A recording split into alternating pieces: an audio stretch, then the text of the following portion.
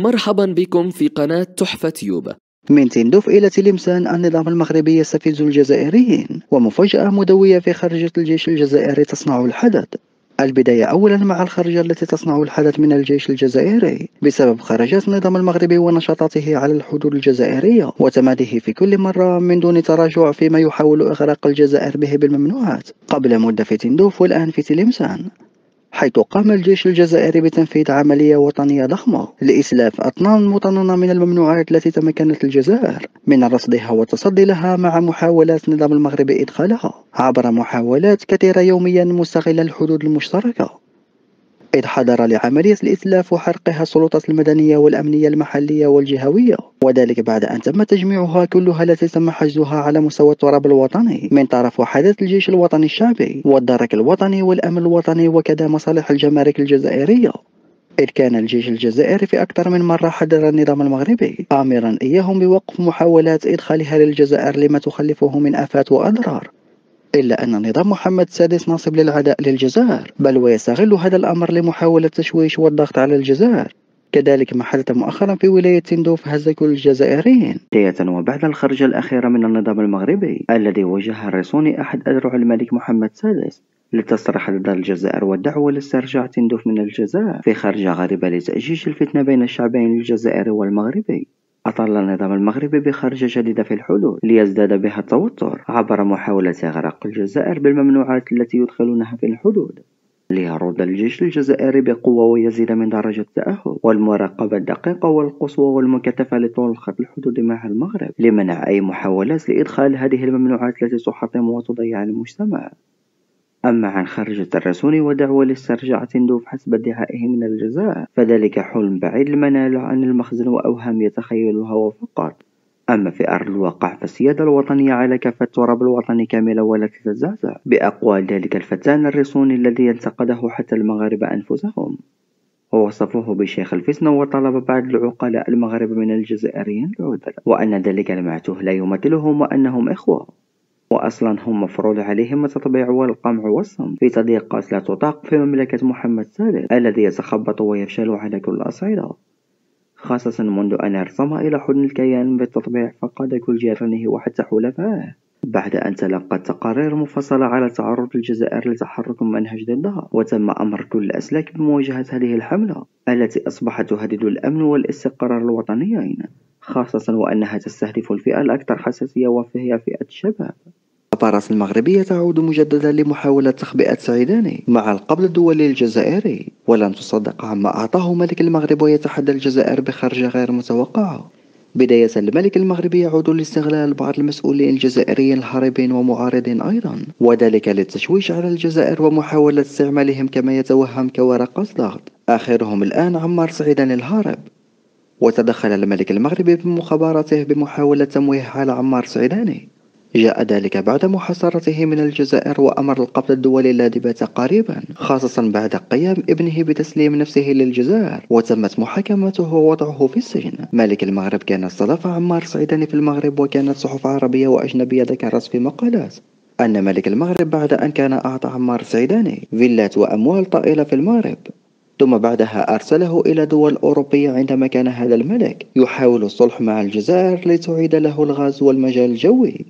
لكن الآن ومع رفض الجزائر ومحاصرته والوضع المعقد على سعيداني تدخل الملك المغربي مجددا بسرعة لحماية عمار سعيداني وحتى لإعادته للمغرب سريعا قبل نجاح القبض الدولي لأنه سيخسر ورقته. فسعيداني كل هذا الاهتمام له من ملك المغرب. جاء لأن سعيداني خان الجزائر ومنح ولاءه للمخزن في عدة قضايا. أولها القضية الصحراوية التي تهجم فيها سعيداني على الجزائر وقال أيضا أنها مغربية وليست غربية. كما بارك سعيدا للتطبيع ولم يعارض هرولة ملك المخزن للتطبيع وهذا كله مقابل أن يمنح له الملك المغربي الحماية من القبض الدولي. فمحمد السادس متورط مع أحد أكبر المفسدين لأنه يحمي سعيدان بالرغم من أن الأخير عليه العديد من الأحكام القضائية بسبب تورطه في الفساد ونهب آلاف الملايير من الخزينة العمومية. بجانب تهريب أموال طائلة للخارج وسوء استغلال الوظيفة التي بسببها ألحق أضرار جسيمة بالخزينة العمومية. ومع ذلك وفي سبيل استفزاز الجزائر والإضرار بها ملك المغرب مساعد لحماية وتهريب المفسدين والعملاء والدفع لهم بدل الالتهاء بمشاكله الداخلية ورفع نداءات شعبه المقهور.